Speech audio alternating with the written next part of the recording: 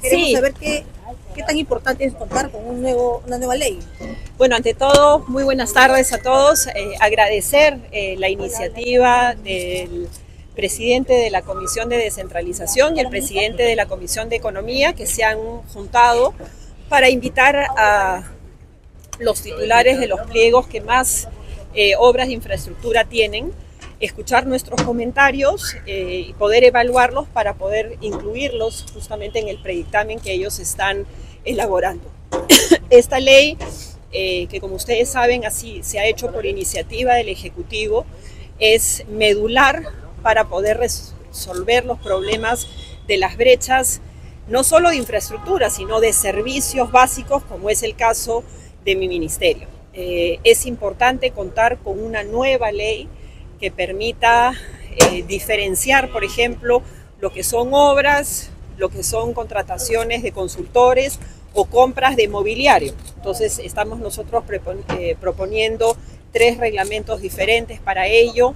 Hemos debatido eh, de manera concienzuda sobre cómo resolver los problemas de corrupción en, en obras.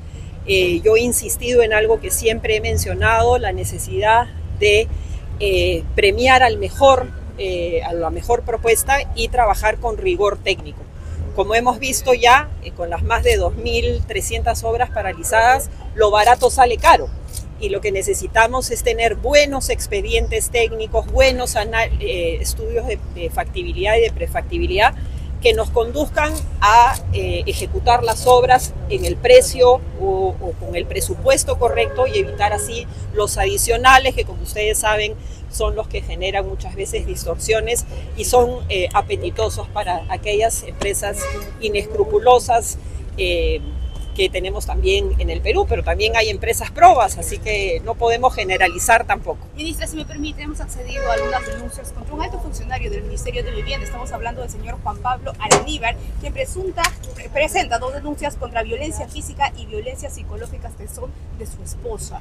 ¿Tienen información de estos Eh, sí, tengo información, ya se están haciendo las investigaciones del caso, también se le han pedido los descargos al señor, así que en función de las investigaciones a las cuales eh, llegaremos, eh, tomaremos las medidas respectivas. Respecto Muchas a esto, gracias. ministra, porque son, digamos, dos denuncias ¿alguna formalizadas otra por su esposa. Pero, Sí, ministra, ministra, por favor, sí, perdón, son formalizadas por su esposa. De, de- de, digamos, de concretarse estas investigaciones, ¿van a evaluar la salida de este Por funcionario? supuesto que sí. tengo entendido. Por, por supuesto que sí. Lo que es importante es eh, que haya el derecho a la persona a hacer sus descargos y derecho a la investigación.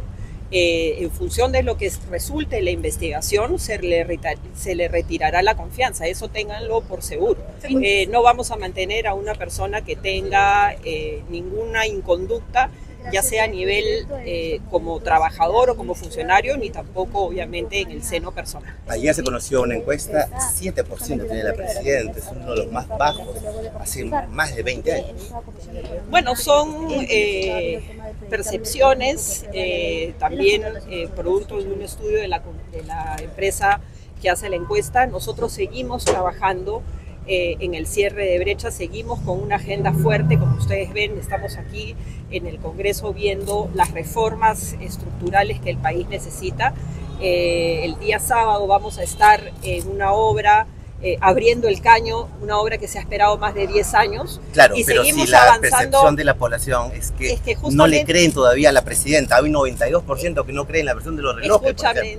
Justamente, creo que es inaugurando estas obras tan eh, eh, anheladas y resolviendo los problemas de fondo de la población que vamos a ir recuperando nuevamente la confianza de la Ministra, población. el Muchas alcalde de gracias. Chancay está reclamando que se sienten olvidados por parte ¿Perdón? del gobierno. El alcalde de de Chancay está Bueno, reclamando me- que se siente olvidado por parte del gobierno porque se ha ido también a dar promesas, pero no se ha cumplido. Me todo extraña, me extraña mucho las, me extraña mucho las declaraciones del alcalde de Chancay, porque justamente hoy día estaba en la mañana en la oficina firmando un convenio para eh, el digamos, formalizar el trabajo que ya viene haciendo el ministerio en la elaboración del plan de desarrollo urbano.